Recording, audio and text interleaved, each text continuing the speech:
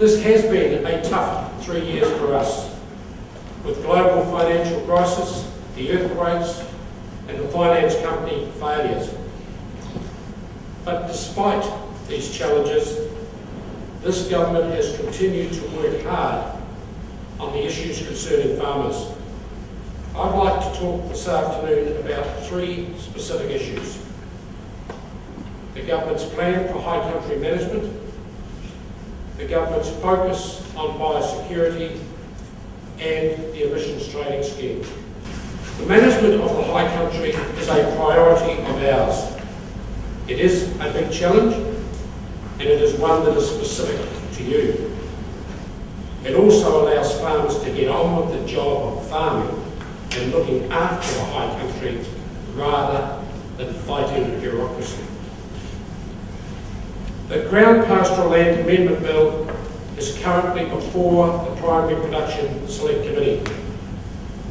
I know that Federated Farmers High Country has made a submission that recommended some improvements to the bill.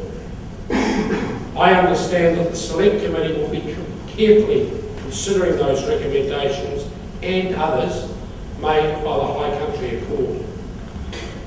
Because of time constraints that we're under the pressure to get legislation passed before the election, I can't guarantee that that legislation will pass before November 26. But regardless, National is committed to a fairer and more equitable pastoral lease rental system for high country farmers. So if the bill is not passed before the election, I assure you it will be done as soon as possible post-election.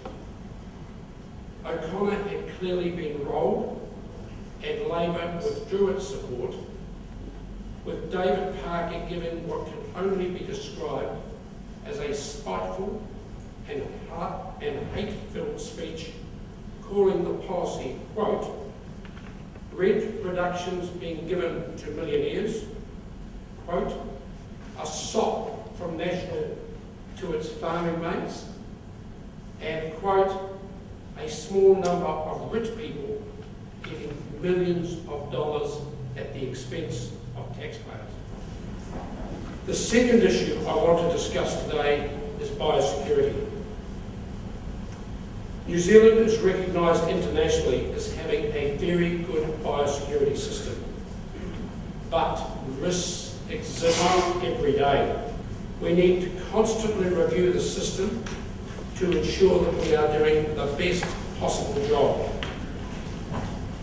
Biosecurity works on three fronts.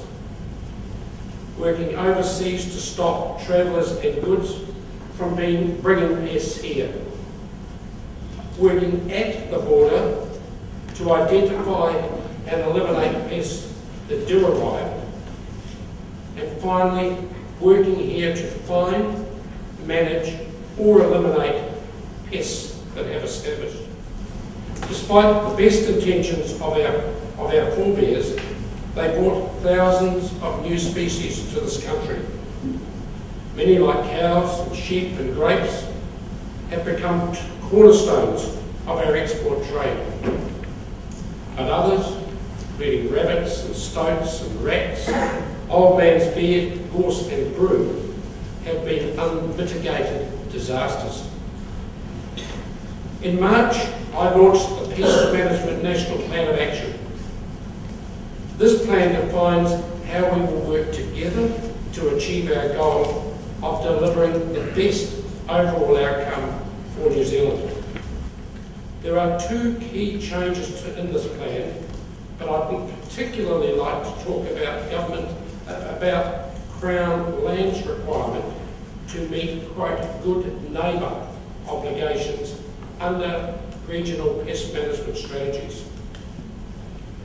This will mean that all landowners in New Zealand, including the Crown, will be bound to control pests such as rabbits, and wilding trees so that they do not spill over and affect their neighbours. The cost of established pests to our economy run close to $2 billion a year. Over $1 billion in lost production and around $720 million in directly preventing pests from arriving in New Zealand and managing them once they are here. Lastly, I'd like to talk about the emissions trading scheme. Labour's proposal to bring agriculture into the emissions trading scheme in 2013 would be economic suicide. National is currently reviewing the legislated 2015 date with another review due in 2014. But remember, the Prime Minister has stated categorically, and I quote, we will only bring agriculture in if it is consistent with what we see other producers around the world doing. This point, we are not seeing a lot of movement in other countries, close quotes.